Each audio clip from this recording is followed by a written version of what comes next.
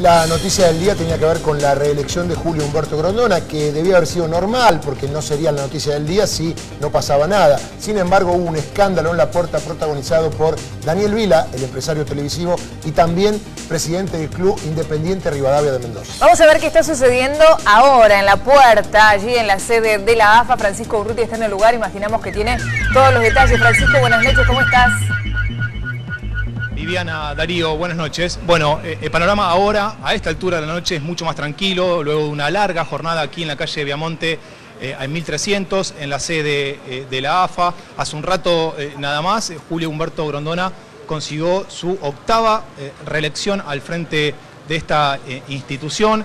Les quería mostrar cómo quedó esta calle Viamonte, que desde muy temprano estuvo con un vallado policial que cortó absolutamente el tránsito en esta zona. Hubo algunos hinchas que vinieron a manifestarse, algunos a favor, otros en contra de Grondona. Lo cierto es que al cabo de la asamblea en la cual eh, estaban o debían estar 49 miembros presentes, el resultado final fue de 46 a 0. Solamente no pudieron eh, votar los clubes de Independiente, Vélez Sarfiel y Atlético de Rafaela porque llegaron a este edificio de la calle de Viamonte cuando ya se había cerrado la puerta para impedir justamente la entrada del empresario eh, Daniel eh, Vila, quien es además el presidente del Club Independiente de Rivadavia de eh, Mendoza.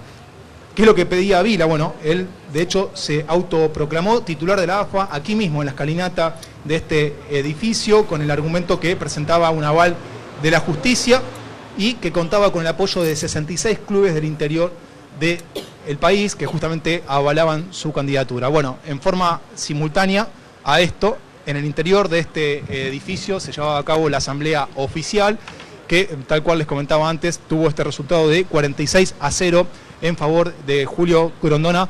Por este motivo, el actual presidente va a continuar con su mandato durante cuatro años más al frente de la Asociación del Fútbol Argentino. Francisco, eh, Julio Grondona ya se retiró ahí porque había movimientos de la camioneta con el chofer que lo conduce y si está confirmado que después de esta reunión se iba a Zurich, ¿no? a la reunión de la FIFA. Ya se retiró Darío eh, en medio de un fuerte operativo policial, un corralito, un cerco con efectivos de la Federal, personal de calle y además eh, personal de seguridad privado. Y la información que tenemos es justamente esto que vos das cuenta, que en principio a las 2 de la mañana, es decir, apenas en algunas horas, estaría viajando a Zurich para el próximo encuentro eh, de la FIFA, entidad de la cual Grondona es vicepresidente. Muy bien.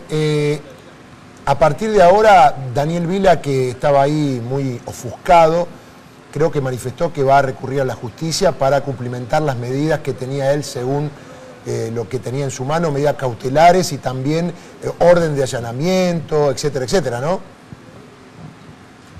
Sí, él llegó muy temprano aquí, incluso antes de que arranque la, asamblea oficial, por denominarla de alguna manera, eh, mostró, exhibió en su poder un, una supuesta orden de allanamiento que, bueno, eh, finalmente no tuvo entidad porque la federal, digamos, no dio vía libre a, esta orden de allanamiento. La orden sí estaba clara que no se debían eh, abrir las puertas de, la sede de la AFA más tarde de las 19 horas, por eso el empresario y presidente del Club Independiente de Rivadavia Mendoza permaneció todo el tiempo en esta escalinata, allí improvisó una especie de asamblea paralela donde, tal cual te contaba antes Darío, se autoproclamó presidente con este aval de la justicia que exhibía constantemente y, hablaba con los medios eh, diciendo y argumentando que cuenta con el apoyo de 66 clubes del interior. Pero hay un dato que no es menor y hay que decirlo, que en la asamblea oficial eh, estaban convocados 49 miembros o habilitados 49 miembros, 20 eh, representantes de los clubes de primera división, 8 de la B Nacional, 7 de la B Metropolitana, 4 de la primera C, 3 representantes de la primera D y 7 representantes del Consejo Federal. Estos representan a las ligas del interior del país. Muy bien, Francisco, gracias eh, por todos los detalles. Ni bien tengas más información, quizá estemos retomando el contacto, pero Santiago Russo sí tiene más detalles también de lo que ha sucedido en el día de hoy. Gracias, Francisco. Eh. En minutos volvemos seguramente. Santiago, ¿cómo estás? Sí, bien, Viviana Darío, muy buenas noches. De los 46 votos a favor que tuvo Julio Brondona, hay tres clubes que no se hicieron presentes en la Asociación del Fútbol Argentino. Estatutariamente podían votar 49, votaron solamente 46. Vélez fue el único que se mostró en disconformidad con la postulación de Julio Brondona. Su presidente Fernando Raffaini no pudo ser eh, digamos, elegido por siete clubes miembros para ser opositor a Julio Rondona, por lo tanto Vélez no se hizo presente. El caso de Rafaela y de Independiente son clubes que no pudieron llegar a tiempo cuando comenzó la asamblea y finalmente se quedaron del lado de afuera. Ingresaron una vez que ya había finalizado. Pero estuvo Daniel Vila ahí, como decía Francisco Urrutia, en la puerta de la Asociación del Fútbol Argentino. Permítame una pequeña humorada. En tres horas en la puerta de la AFA, Daniel Vila brindó más entrevistas que Julio Grondona en 32 años. Fue terrible lo del presidente independiente Rivadavia Mendoza, que habló y tenemos el testimonio. Esta es la orden de allanamiento, esta es la orden de allanamiento, y que no me dejan entrar, no me dejan entrar. Vamos a esperar, a ver qué pasa. La policía tiene que actuar. El comisario que está acá a la vuelta en la seccional tiene que venir y cumplir la orden judicial. Está el oficial de justicia adentro y me tiene que permitir el ingreso. Para eso tiene el oficial de justicia el auxilio de la fuerza pública, pero la fuerza pública se está negando a actuar. Por eso los hago responsables los funcionarios de esta desobediencia a la justicia. ¿Qué cambiaría? Lo principal que cambiaría, Daniel. Lo primero que haría sería transparentar el fútbol, que no pasen estas cosas, que se conozcan las cuentas de los clubes, que los sorteos se hagan como corresponde cuando hay un campeonato, que los, árbitros también se sorteen, que se conozca cuál es el pasivo de las instituciones, que se conozca dónde va la plata, porque se pierde la plata acá adentro, mucha plata. Eh, que haya un reparto más equitativo del dinero, que se atienda a las necesidades de los clubes del interior, que son formadores de jugadores, en fin, un montón de cosas que hace un año vengo recorriendo el país y explicando por toda la geografía argentina. Me da vergüenza hoy ser dirigente del fútbol argentino. De este fútbol me da vergüenza. Por eso quiero más que nunca ser presidente, para cambiarlo.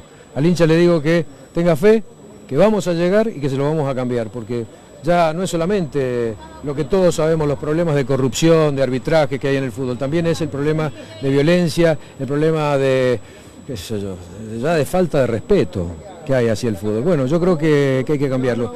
Y hay un refrán que dice que cuando el dirigente pierde la vergüenza, el dirigido pierde el respeto. Yo creo que estamos en una, en una situación donde el dirigente ha perdido la vergüenza. Ahora, Santiago, hay que decir que, guste o no guste Grondona, en la AFA hay un estatuto que tiene más de 100 años y hay un procedimiento previsto que se debe respetar, cualquiera fuese el candidato. Si alguien tiene algún problema, debe a través de la liga presentarse en la AFA un proyecto de modificación y es la misma asamblea la que lo debe modificar. No hay otra forma, no hay otra forma de golpe de estado jurídico, de que el juez me dice con la medida cautelar. Me parece que, porque Vila es un hombre de derecho, es abogado, de hecho me parece que no ejerce la profesión por estas medidas que ha tomado, porque si no, no se entiende que no esté de acuerdo con un funcionamiento de una institución que tiene muchos años y que el reglamento habla de esto, si hay que cambiarlo, es la misma asamblea que lo tiene que cambiar. Mira, en lo particular, Darío, yo pienso que habría que que tendría que modificarse el estatuto de la Asociación del Fútbol Argentino, pero esto lo deben hacer o lo deben decidir entre los clubes y no por la fuerza. Eh, hubo tiempo para que esto se hiciera, no llegaron nunca a juntar la cantidad de personas necesarias como para motivar un cambio estatutario, por lo tanto, el 18, hace 90 días, como bien vos dijiste en la apertura, se había puesto la fecha del 18 de octubre para que sea la fecha para renovar autoridades. Finalmente, hoy fue reelecto Julio Humberto Grondona, que lleva 32 años al frente de la AFA y en el año 2015 llegará a 36 años al frente de la entidad.